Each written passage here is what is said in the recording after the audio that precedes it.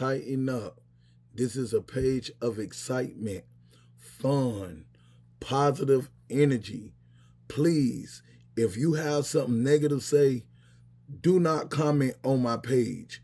I will delete it and I will block you. I keep trying to tell y'all, the world is too big for all of that negative energy. Negative energy is taking away your life force. Wake up. Stop being so ignorant. If you don't have no beautiful woman in your life, then you must be doing something wrong. Get it together. She picked me.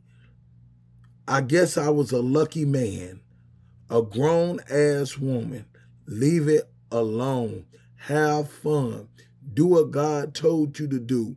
Be fruitful, multiply, enjoy your life, and quit your habits. Maybe if y'all quit y'all habits, you'll have some money, some type of change.